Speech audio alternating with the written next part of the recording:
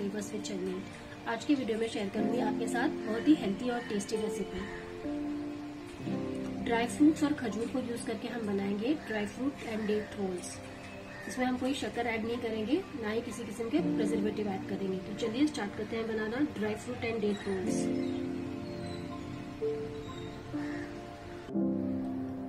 खजूर dry fruit roll बनाने के लिए हमें चाहिए खजूर।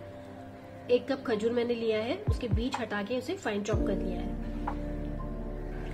ड्राई फ्रूट्स में हमें चाहिए दो टेबलस्पून काजू चॉप्ड दो टेबलस्पून आलमंड्स यानी कि बादाम चॉप्ड और दो टेबलस्पून वॉलनट यानी कि अखरोट चॉप्ड आप अपनी पसंद का कोई भी ड्राई फ्रूट यूज़ कर, सकते हैं। दो टेबलस्पून खसखस और दो टेबलस्पून फाइन चॉप किया हुआ पिस्ता मैंने लिया है रोल को गार्निश करने के लिए। इसके अलावा हमें चाहिए दो टीस्पून असली घी।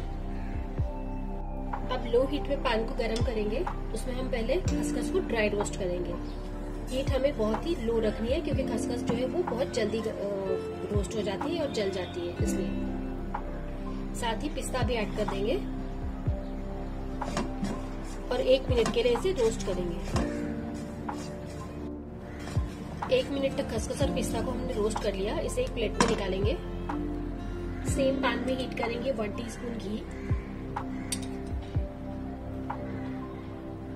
उसमें डाल देंगे चॉप नट्स और अब मीडियम हीट पे इन्हें भी एक से दो मिनट के लिए फ्राई कर लेंगे.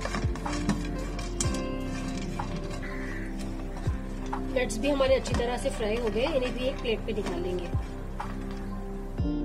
अब पैन में डालेंगे बाकी बचा हुआ घी. चॉप किया हुआ खजूर.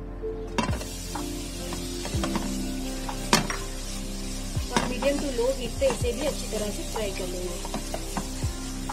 मेक श्योर खजूर जो आप यूज़ करें, वो सॉफ्ट होनी चाहिए। अगर आपकी खजूर हार्ड होगी तो रोल आपके अच्छे नहीं बनेंगे, इसके लिए आप सॉफ्ट खजूर का ही यूज़ करें।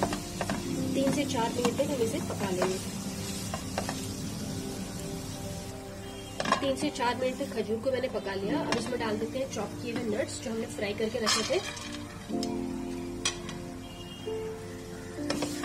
मिक्स कर लेंगे।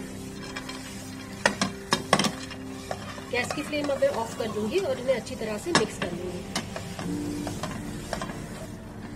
बहुत ही हेल्दी और न्यूट्रिशियस रेसिपी है। अब इस रेसिपी को आप ज़रूर ट्राई कीजिए, आपको पसंद आएगी।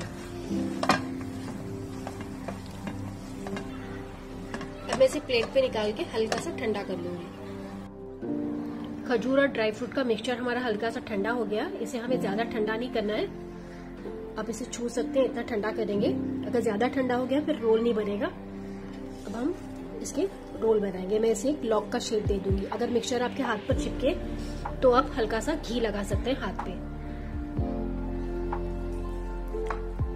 इस तरह से पूरा मिक्सचर लेके हम इसे लॉक का शेप दे देंगे।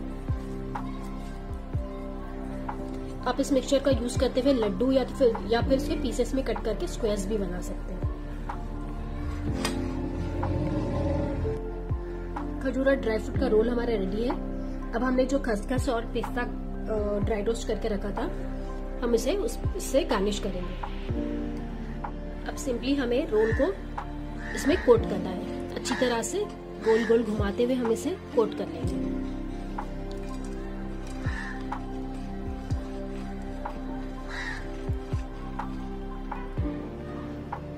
रोल को हमने खसखस और पिस्ते से कोट कर लिया। अब मैं इसे आधे घंटे के लिए फ्रिज में रखूँगी ताकि ये थोड़ा सा फर्म हो जाए, फिर हम इसके पीसेस कट करेंगे। आधे घंटे तक रोल को हमने फ्रिज में रखा था, अब ये थोड़ा सा हार्ड हो गया, अब हम इसके पीसेस कट कर लेंगे। जिस भी साइज़ के आपको पीसेस कट करने हो, आप कट कर लें।